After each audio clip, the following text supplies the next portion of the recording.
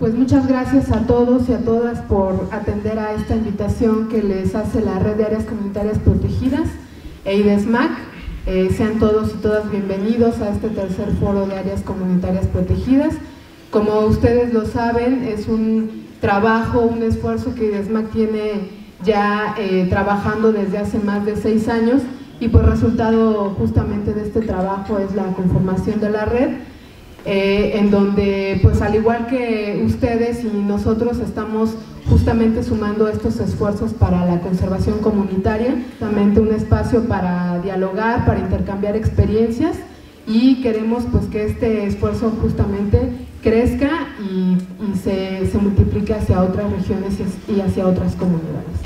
Bueno, mi nombre es Damián Gordillo, soy el presidente de la red en Chiapas tenemos unos retos grandes todavía por delante y gracias a, todos los, del presidio, ¿verdad? Y esperamos contar con su apoyo para seguir eh, eh, impulsando lo de la red, que es en beneficio de todas las comunidades aquí presentes. Bueno, gracias por, por asistir también, compañeros.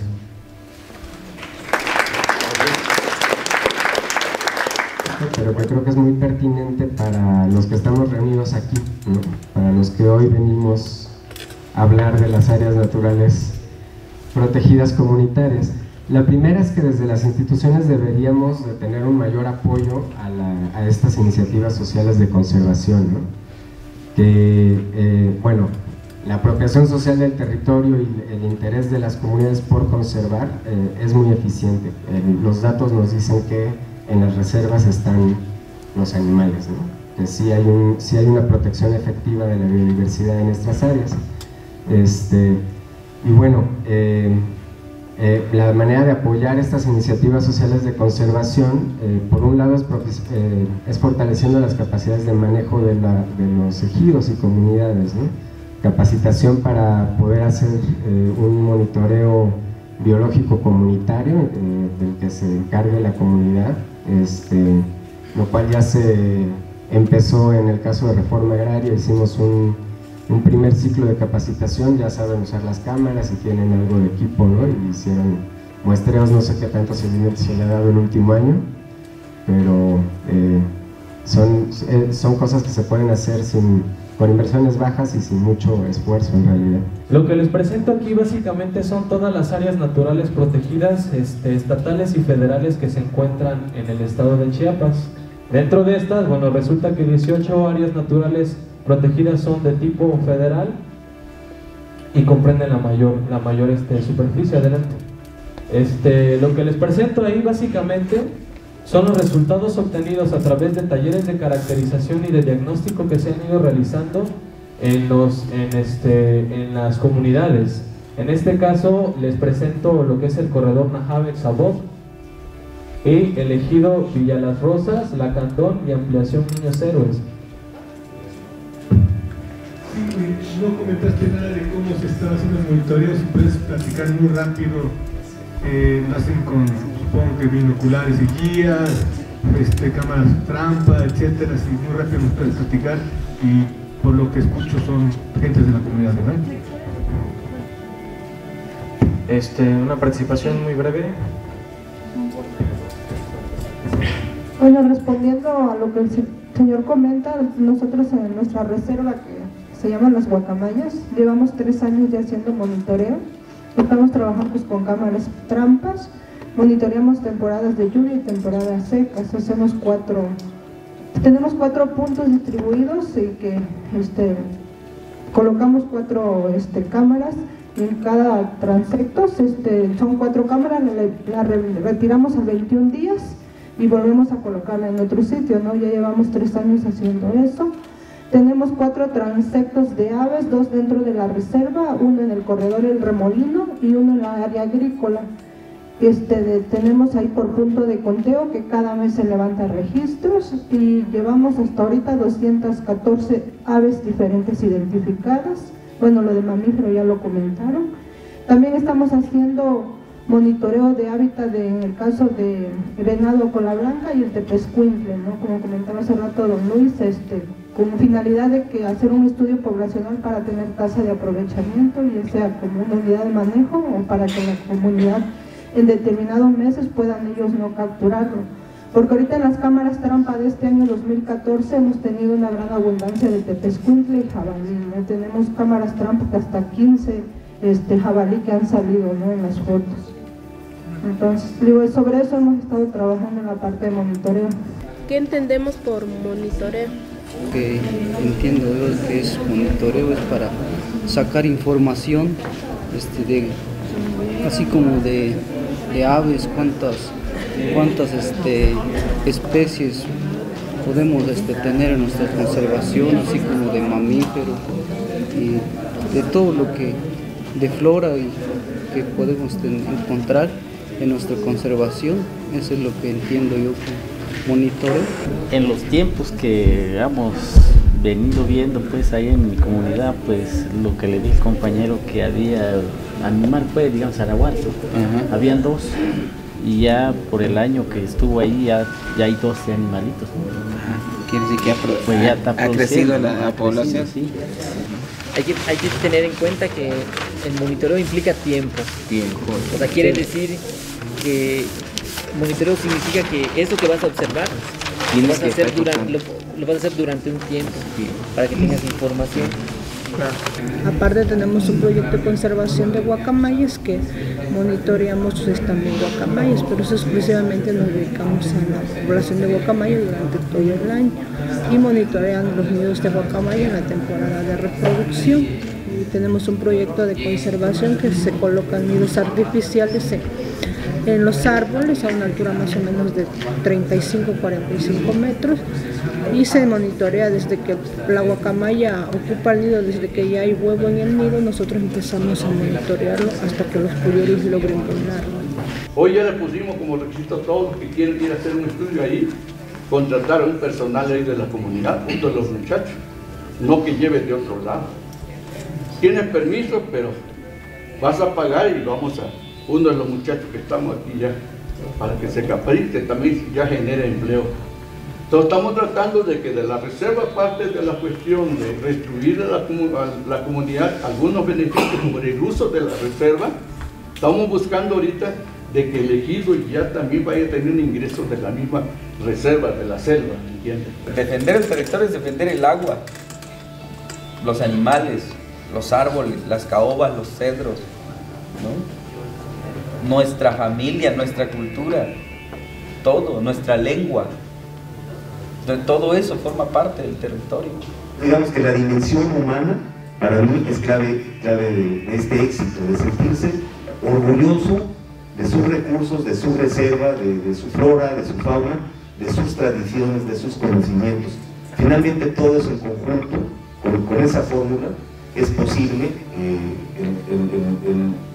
a decir bienestar humano, la vida plena, que es mucho más que bienestar, la parte más humana.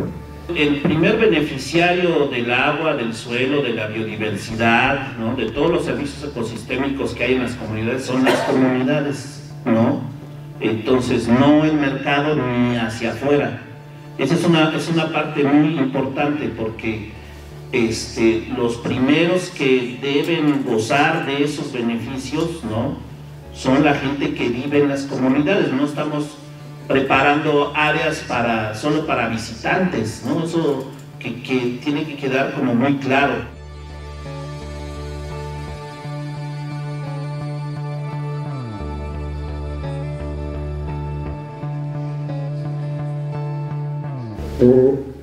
¿Cómo consiguen las comunidades la conservación? Para mí esta sería una pregunta este, a los compañeros. Yo creo que, que los, por lo que yo he platicado con campesinos, con productores, ellos tienen indicadores ambientales y ecológicos este, suyos, propios, ¿no? que, que, les indican cuándo un ecosistema está sano, cuándo un suelo es más fértil, cuándo es más productivo, eh, referente a esto del conocimiento básico, pues yo en enero de este año que inicia retomo una investigación que ya he desarrollado por varios, eh, por tiempo anterior, pero este se va a enfocar un poquito a qué es justamente esto de la palabra conservación, pero a partir de la percepción de la gente que vive en la zona, qué los motiva para certificar áreas ¿Cómo perciben esta certificación que se está realizando por parte de la CONAM y cuáles son los problemas que ellos están teniendo? También como buscando eh, el documentar esta información porque existe, pero si no también no tenemos los elementos, ¿cómo podemos argumentar nuevas herramientas y estrategias? Y creo que esta reunión de IDESMAC también muestra esta parte, ¿no? O sea, sí, sí es importante que se hagan estas reuniones, y todo lo que se ha comentado por parte de los, eh, los señores que han participado, los ejidatarios y los comuneros que están aquí, pero también el documentar esa parte nos da argumentos también para decirle tanto a los tomadores de decisiones como a la academia la importancia de este conocimiento que ellos tienen y que ha permitido que se conserve esa diversidad biológica en estos territorios. Empezar a generar conocimiento desde y para, ¿no? Entonces, el gran desafío es este que nos planteaban hoy en la mañana de hacer investigación conjunta, de generar conocimiento útil, de construir desde abajo, ¿no? Y esta es la, o sea, yo, esta es la experiencia que recupero hoy de aquí, de, esto, ¿no? Estas son experiencias que vienen desde abajo. Yo particularmente sobre esto apuesto. Yo creo que ese es como el gran, el, el gran reto, el gran desafío. Uno, construir con las comunidades conocimiento útil otro, tener este diálogo fructífero y productivo con los colegas de otras disciplinas, ¿no? Este, de manera como que estamos frente a un desafío enorme que es aprender a construir de maneras distintas de como lo hemos hecho. La cuestión es que el aprendizaje no solo está en las aulas, el proceso de aprendizaje se tiene que generar más allá de los muros, más allá de las academias, y el aprendizaje se tiene que generar en colectivo, se tiene que generar en interacción social.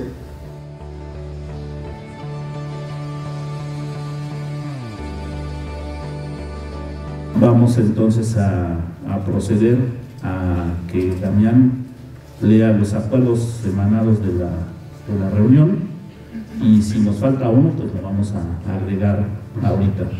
Así que adelante, Damián. Este documento dice, Tercer Foro de Áreas Naturales Protegidas Comunitarias de Chiapas, eh, acuerdos y recomendaciones.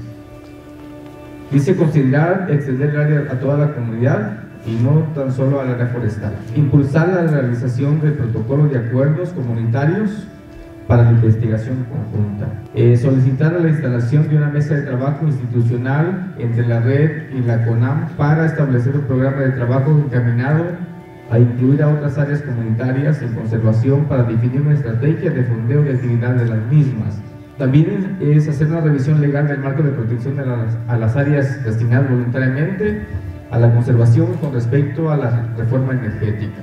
Dice considerar como estudio equivalente para que una comunidad obtenga la certificación de intención y básica en lugar del programa de manejo o de ordenamiento territorial comunitario. La red acuerda establecer los contactos con las, con las organizaciones comunales de Campeche, Tabasco y Oaxaca para impulsar la constitución de la red mesoamericana y asimismo consolidar la red de Chiapas a través de la definición de las, de las tres redes regionales en la selva, en la sierra y en los altos. Realizar un encuentro para la, identificación de mecanismos y sistemas de monitoreo de la biodiversidad y de la deforestación a nivel comunitario.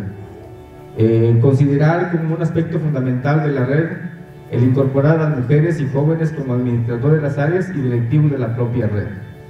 Eh, son los acuerdos y las recomendaciones que, que surgieron y por parte de la red eh, se compromete a fortalecer el tema de organización y gobernanza interna entre los ejidos y de la propia red.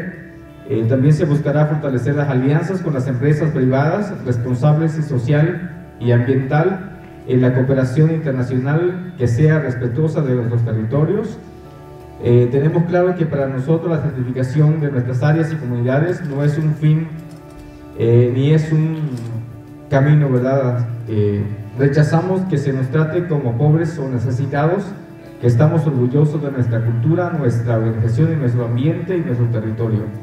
La red se compromete a restablecer el diplomado de formación de administradores a partir del próximo año.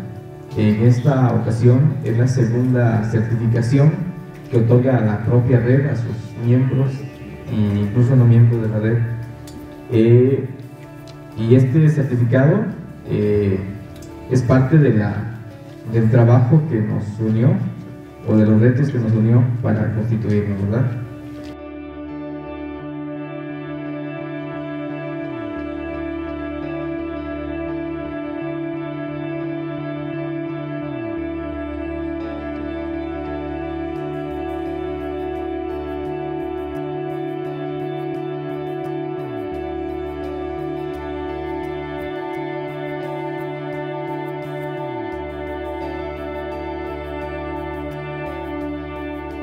Siendo las 18.59 horas de este día martes, ¿verdad? Eh, cierro formalmente las actividades y los invitamos para la próxima reunión. Espero contar con su presencia, con los académicos y la gente que nos apoyan en todo este, este proceso. Muchas gracias y un aplauso para todos.